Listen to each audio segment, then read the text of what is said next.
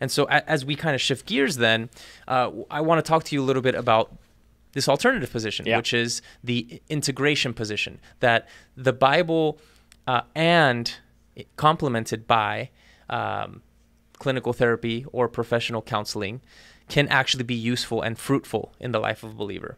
And so, the first thing is that you have a different theory of knowledge here, right? On the one hand, with the Bible alone counseling perspective, the Bible is the exclusive, meaning the only source of knowledge that you can use Right. for spiritual growth. Now, there is a view here in the Bible and psychology integration view where special revelation or the Bible, mm-hmm. as well as general revelation, are God given gifts. Yeah. Meaning that God shows himself not only through what he says in scripture, but what how what he has done and how he has set the world up to be. All truth belongs to God. Exactly. Now- Irrespective of how it reveals itself. Yep, and, and you know that's from Augustine. There. Yeah. yeah, so yeah. so this Nice. isn't this isn't new, right? like Christians have been saying that for Yeah.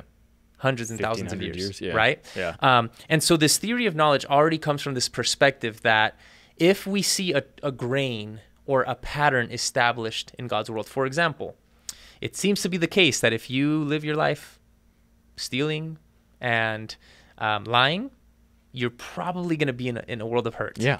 Yeah. Like you don't have to be a Christian to know that. Right. Right? So the the theory of knowledge from this perspective is going to propose, hey, listen, God has made these patterns known in the world in such a way that even non-believers can recognize these truths. Absolutely. And they can then not only they're not imposing those values, they're recognizing them. Yeah. And by recognizing, they can effect then valuable change.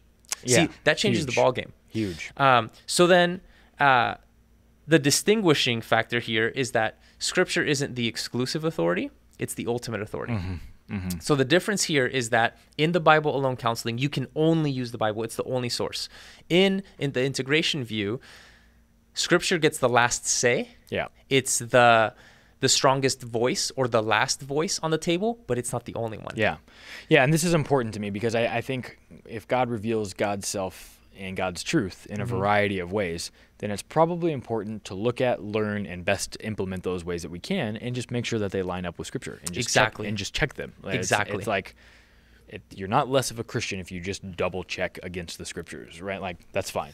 So then, psychology and theology aren't competing Right. as sources of knowledge. They're rather complementing each other because they're both given by God. Mm-hmm. I was reading this really interesting article by John Coe, um, spiritual formation guru. I know you've you've read some Mm-hmm. of his stuff, and I really appreciated how he talks about wisdom literature, um, meaning the Psalms and the Proverbs in the Old Testament. He says. God creates and sustains the world with his imprint on it known as wisdom. Yeah. Right? So so what we know about wisdom in the in the Bible is is the way that God has designed or made the grain of, of the world. So then wisdom is not only recognizable to believers, but it's also recognizable to non-believers as they see how the world works.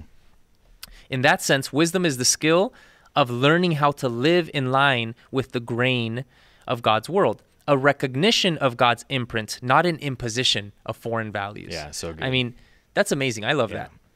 Yeah. I, I think what I love about this position is it implies humility there in a way that I don't think the Bible only counseling one does. Yeah. And I think that's important for us and for our mental health as people moving forward. Truly. For sure. For sure. And so the, the biggest concerns that I've heard with this is like, wait, but hold on. What about all the, the humanistic or all the atheistic or theorists or practitioners, psychologists who deny God and say that humanity is is basically capable of healing themselves?